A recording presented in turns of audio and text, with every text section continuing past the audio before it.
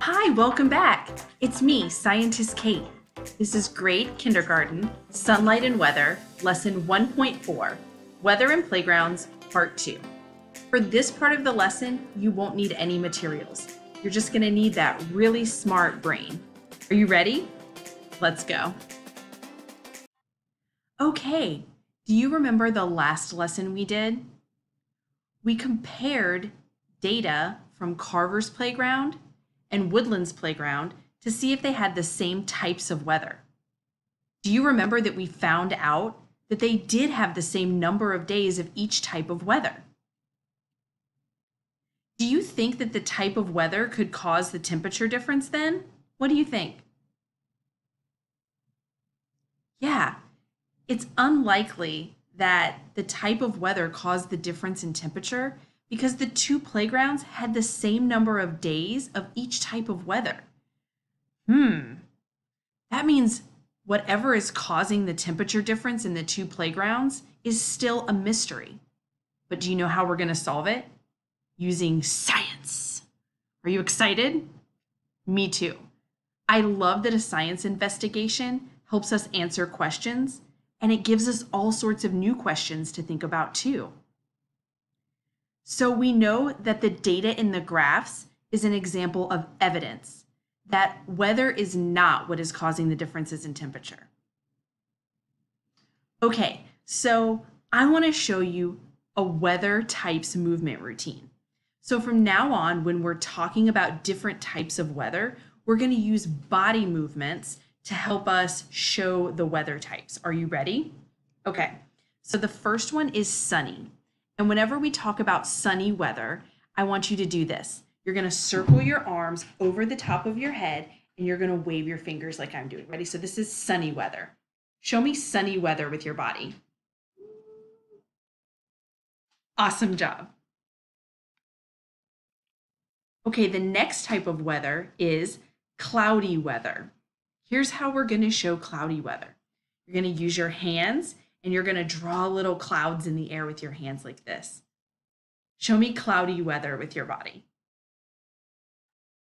Ooh, those are some big clouds you're making. Okay, let's look at the next type of weather. Ooh, windy weather. This one's really fun. You have to be careful with your arms so you don't hit anything, but to do windy weather, you're going to go. Show me windy weather. Ooh, that's really fun. All right, let's look at the next type. Okay, the next type is rainy weather. Here's how you're going to do rainy weather. Show that rain falling down from the sky. Oh yeah, rainy weather, rainy weather. Show me it with your body, the rainy weather. Ooh, very nice, very rainy. All right, let's look at the next type. Oh, this is the last type. It's snowy weather. So we're also going to show the snow falling out of the sky, but snow falls a lot softer and slower than rain. So we're going to go snowy weather, snowy weather. Show me that snowy weather falling down from the sky. Awesome. Okay, now let's, I'm going to give you a little challenge. I'm going to show you some different types of weather and you do the weather movement with your hands.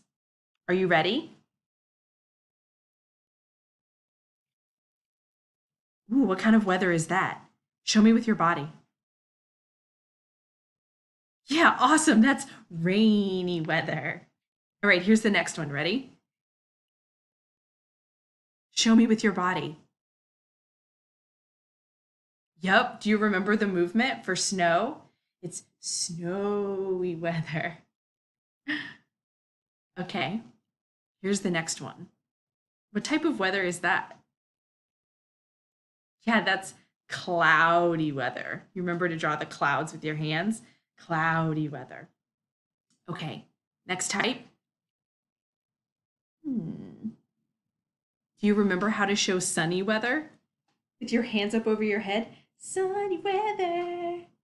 Very good. All right, last type. Whoa, that is some majorly windy weather. Whew, okay, that was fun. Okay, do you remember this chart? We talked about what scientists do. To answer questions, scientists do different things. We already know that scientists observe with their five senses and record data down from investigations. We also learned that scientists organize their data to make sense of it. Remember how we use those graphs to organize our data so that we could really see it very easily? That helped us to compare the data. Comparing is something else that scientists do. Remember what compare means? It means to look and see what is the same and what is different about data. Sometimes scientists also write so that they can remember things from their investigations. Other times, scientists write to communicate what they've learned with other people. We're going to do some writing together right now. Do you remember the chapter one question? What is the weather like on the playgrounds? I think we've answered that question by looking at our data and organizing it into graphs so we could compare it. Let's do some shared writing. Here's how this will work. I'm going to read you the question, and I want you to say out loud what you think the answer to the question is so I can write it down. Are you ready? Awesome. Here's the first question What is the weather like on Carver's playground? Hmm. I'm having trouble remembering. Do you want to look back at the data with me? Let's look. Here's our graphs. Here's Carver's playground weather graph. Let's look at the data so we can answer the question. How many sunny days were there? There were a lot. Let's count them again together. One, two, three, four, five, six, seven, eight, nine. Okay, so there's nine sunny days. We want to report that back in our writing. How many cloudy days were there? Tell me. Yeah, there were three cloudy days. How many windy days were there? Right, there was only one. How many rainy days were there? Yeah, there was only one. Okay, so let's go back to our shared writing. We're going to say Carver's playground had nine sunny days. There were three cloudy days. There was one windy day, and there was one rainy day. Great, we answered the question about the weather on Carver's playground. The next question says, what is the weather like on Woodland's playground? Should we look back at the data again? It's always a good idea. Okay, here's Woodland's playground weather graph. Do you remember Carver and Woodland's weather graph? Were they the same or were they different? Yeah, they were the same. There's the same number of sunny days, the same number of cloudy days, the same number of windy and rainy days. So we can just say that in our shared writing. What is the weather like on Woodland's playground? Well, it's the same as Carver's, right? So we can say Woodland's playground has nine sunny days. There were three cloudy days. There was one windy day. There was one rainy day. Great. What is the same or different about the weather on the two playgrounds? Ooh, this question is asking us to compare again.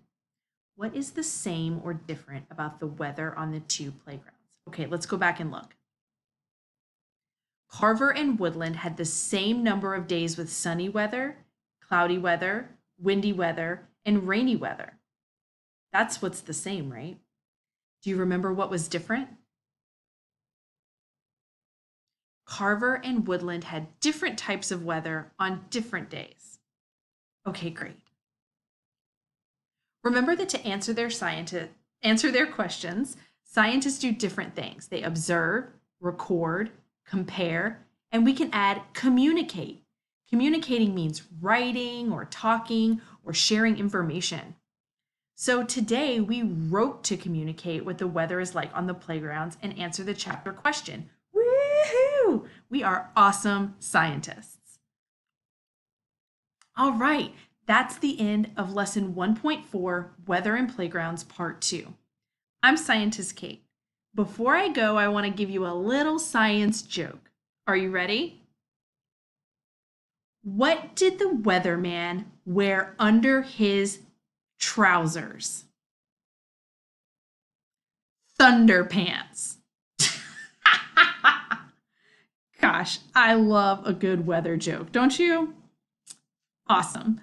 I'll see you next time for more sunlight and weather. Stay curious.